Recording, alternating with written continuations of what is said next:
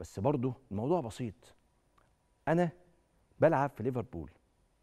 لما ألعب قدام مدافع تشيلسي غير مثلا مثلا يعني لما ألعب قدام مدافع مش عايز أذكر أندية في مصر يعني عشان ما اقللش من حد أي نادي في مصر. أي نادي. أنا بلعب قدام مدافع تشيلسي. تيجي تقول لي اصله شبهه المدافع اللي موجود في النادي ده وده وده. مستحيل مش عشان هو وحش كقدرات فردية بس قوة الاحتكاكات.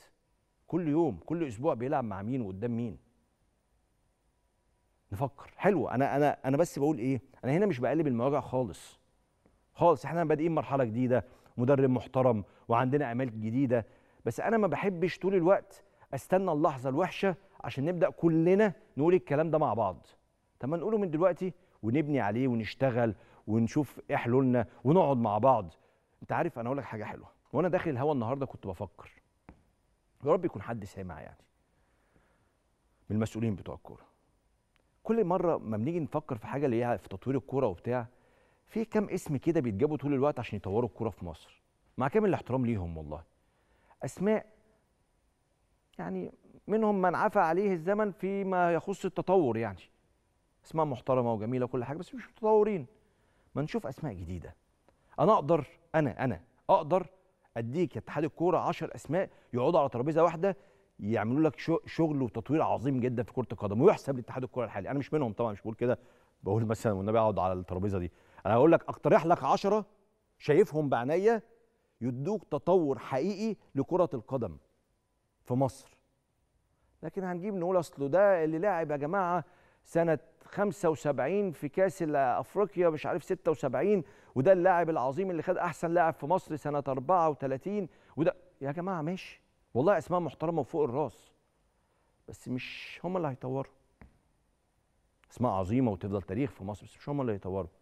لازم ثورة فكرية وأنت بتدير الكورة. ما تشتغلش بنفس النظام القديم وعايز نتائج جديدة مستحيل. مستحيل هتبقى نفس النتائج وهكذا وهنفضل لافين في نفس الدايرة. اللي حصل في السنغال وفي المغرب وفي غانا وفي نيجيريا وفي الكاميرون ليه إحنا بعيد قوي؟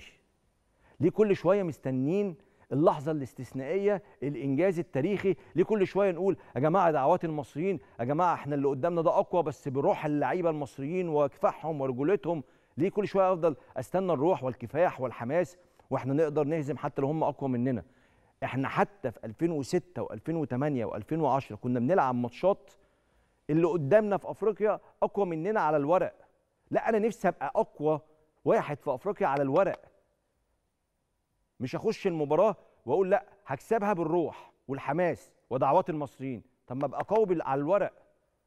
واستخدم بقى الروح والحماس اللي عند المصريين فعلا مع الأداء الجيد مع اللاعبين الكويسين وأكسب المباريات وأوصل لمرحلة بعيدة.